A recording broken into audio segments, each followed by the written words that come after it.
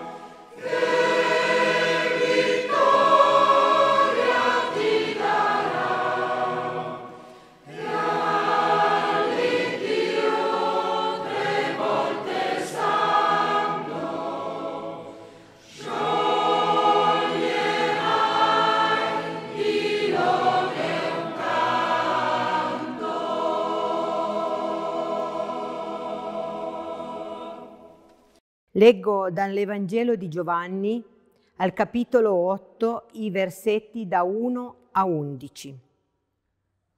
Gesù andò al Monte degli Ulivi. All'alba tornò nel Tempio e tutto il popolo andò da lui. Ed egli, sedutosi, li istruiva.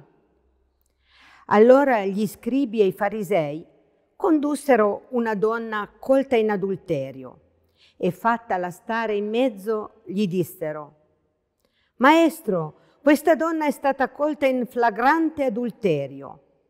Ora Mosè, nella legge, ci ha comandato di lapidare tali donne. Tu che ne dici? Dicevano questo per metterlo alla prova, per poterlo accusare. Ma Gesù, chinatosi, si mise a scrivere con il dito in terra. E siccome continuavano a interrogarlo, egli si alzò e disse loro, chi di voi è senza peccato, scagli per primo la pietra contro di lei. E chinatosi di nuovo, scriveva in terra. Essi, udito ciò, uscirono a uno a uno, cominciando dai più vecchi e Gesù fu lasciato solo con la donna che stava là in mezzo. Gesù, alzatosi, le disse, Donna, dove sono? Nessuno ti ha condannata? Ella rispose, Nessuno, Signore. E Gesù disse, Neppure io ti condanno. Va e da ora in poi non peccar più. Amen. Care sorelle, cari fratelli, care amiche e cari amici, ricordate le parole della famosissima canzone di Caterina Caselli Nessuno mi può giudicare, nemmeno tu? Sono un'ottima sintesi del racconto che abbiamo ascoltato dal Vangelo di Giovanni, se non con la differenza che la prospettiva è spostata da Gesù alla donna. Non giudicare è uno degli insegnamenti di Gesù, quasi un comandamento che troviamo ripetuto più volte nel contesto dei capitoli 7 e 8 del Vangelo di Giovanni. Egli invita i suoi oppositori a non giudicare secondo le apparenze e lui per primo non giudica nessuno. L'Apostolo Paolo richiamerà nella lettera ai Romani questo principio, dicendo, perciò, o uomo, chiunque tu sia che giudichi, sei inescusabile, perché nel giudicare gli altri condanni te stesso. Infatti tu che giudichi fai le stesse cose. Nonostante questo, il brano sembrerebbe un'aggiunta posteriore al Vangelo, cioè non apparterrebbe alla tradizione giovannea. Questo fatto rende però il nostro racconto ancora più singolare e interessante. Intanto perché al centro del racconto c'è una donna, di cui non sappiamo il nome e la cui storia personale è balzata all'attenzione dei narratori dei Vangeli. Poi perché l'intervento di Gesù cambia il modo di intendere la legge, introducendo un elemento nuovo, il perdono. Questo infatti parte dal presupposto che nessuno può giudicare perché nessuno è senza peccato da poter scagliare la prima pietra. Che Gesù voglia insegnare qualcosa di nuovo si capisce dalla descrizione iniziale del racconto, secondo cui Gesù stava nel Tempio in posizione seduta cioè nella postura dell'insegnante, conformemente a un uso diffuso nelle scuole dell'antichità. Infatti, a ulteriore dimostrazione di ciò, gli scribi e i farisei si recano da lui per sottoporgli un caso previsto dalla legge e per vedere qual è la sua interpretazione. In realtà il narratore precisa che costoro vogliono mettere alla prova Gesù per poterlo accusare. Cioè i difensori a tutti i costi della legge di Mosè vanno da Gesù con l'intenzione di giudicare e condannare. Si prendono quasi gioco di lui, fingendo di riconoscere in Gesù un maestro. La donna era probabilmente sposata ed era stata colta in trasgressione flagrante della legge mentre consumava un adulterio. Ciò che importa nel nostro racconto non è tanto cercare di ricostruire i fatti, individuare i particolari della scena, chi l'abbia scoperta in adulterio, chi sia l'amante, quale sia la relazione col marito, quanto piuttosto accendere i riflettori sulla donna in sé, che infatti viene posta al centro della scena. La domanda posta a Gesù è chiaramente un tranello. La flagranza di reato non ammette interpretazioni di sorta. Gesù non può che rispettare la legge che prevede la condanna a morte, a meno che non intenda usare misericordia verso quella donna, violando così la legge. Si tratta insomma di un vicolo cieco e tale è ogni uso legalistico della legge, non lascia alcuna possibilità alla grazia di Dio. Ma Gesù non sta al tranello e non intende cadere nella logica senza vie di uscita proposta dagli scribi e dai farisei. Lo fa in due tempi e in due modi distinti. Innanzitutto con quello che potremmo chiamare un linguaggio non verbale. Si china e comincia a scrivere per terra. Non sappiamo cosa egli scriva e se quel gesto abbia un significato particolare. La cosa che però si coglie è che Gesù si rifiuta di argomentare secondo le modalità proposte dai suoi avversari. Ciò nonostante, di fronte alla loro insistenza, egli dà la risposta che è divenuta celebre. Chi è senza peccato scagli la prima pietra. Quante volte l'abbiamo pronunciata anche noi questa verità evangelica? Gesù cita il libro del Deuteronomio, secondo cui solo il testimone diretto della trasgressione della legge aveva il diritto di scagliare la prima pietra. E con l'autorità che gli è propria reinterpreta questa prescrizione allargando lo sguardo. Solo chi è senza peccato può vantare un tale diritto. Così facendo, Gesù non sta travisando la legge, né sta arrampicandosi sui vetri. Egli offre invece una corretta interpretazione della legge e ristabilisce il suo vero senso. Infatti, chi vuole applicare la legge in maniera così rigorosa, come ad esempio fanno gli scribi e i farisei, deve allo stesso modo applicarla su di sé. E chi può dirsi senza peccato? Solo la superbia e l'arroganza portano gli esseri umani a pensare di esserlo. In realtà, se applichiamo il criterio del rigore, ognuno scoprirà di essere trasgressore di qualcosa previsto dalla legge.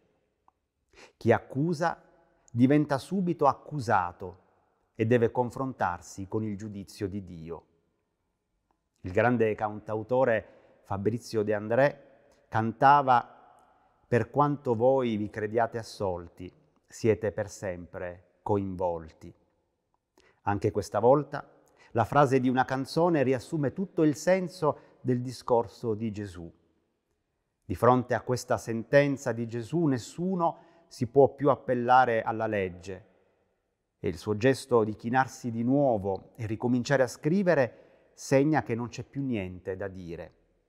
Infatti i suoi avversari se ne vanno con la coda tra le gambe e la loro dipartita è il segno di una consapevolezza di essere nel peccato. Sul luogo della scena non resta più nessuno se non la donna e Gesù. Agostino di Pona commenta la scena definendo i due come la miseria e la misericordia.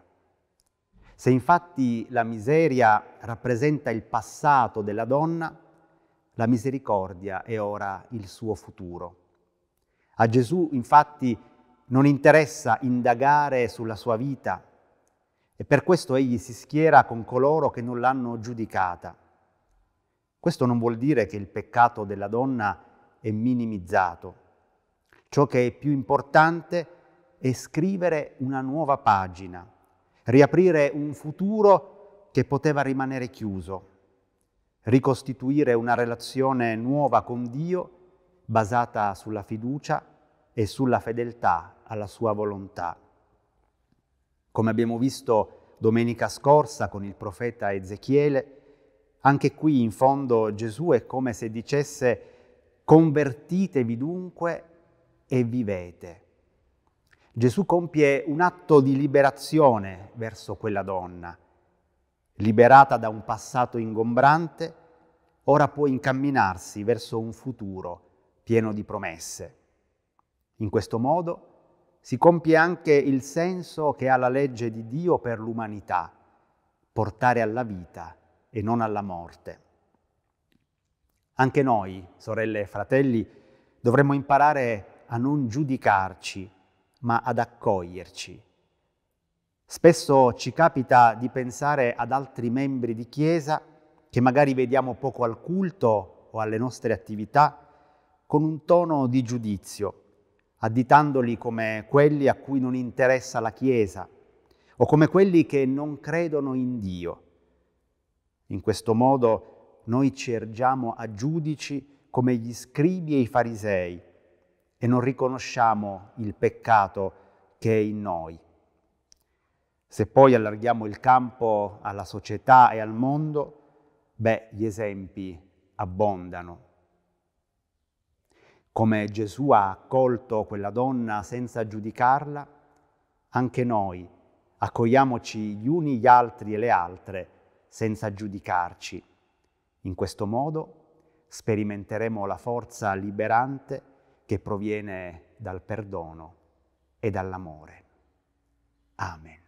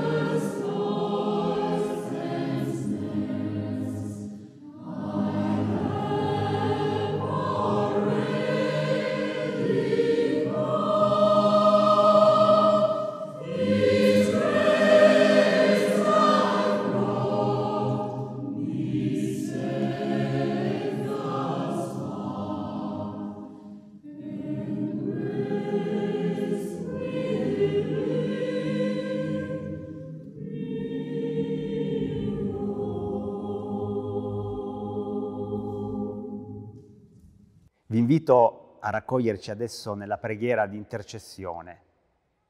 Pregheremo con le parole del precatechismo di Torre Pellice che troviamo contenuto nel libretto della Sevà.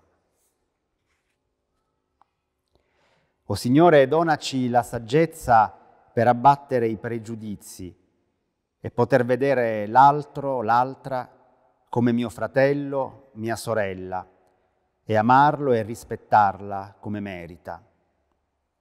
Signore, aiutaci ad essere accoglienti, generosi e rispettosi nei confronti di chi è meno fortunato di noi.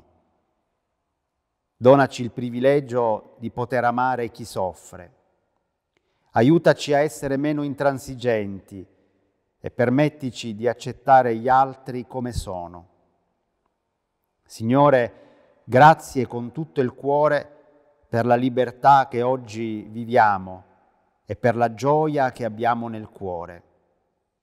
Aiutaci a fare di un semplice gesto una cosa bella. Nel nome di Gesù Cristo. Amen. Notre Père qui es aux cieux, que ton nom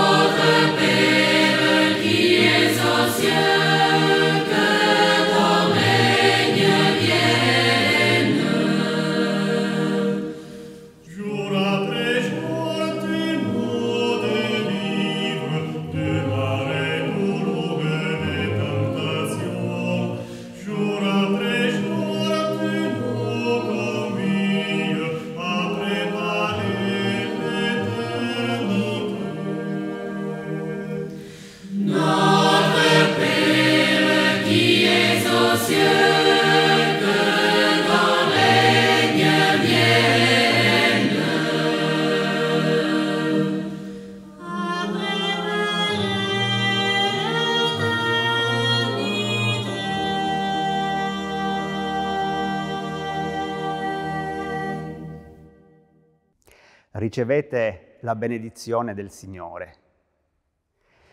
Il nome del Signore Gesù Cristo sia glorificato in voi e voi in Lui. L'amore di Dio vi accompagni e vi sostenga.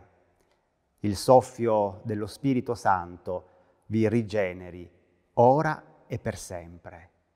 Amen.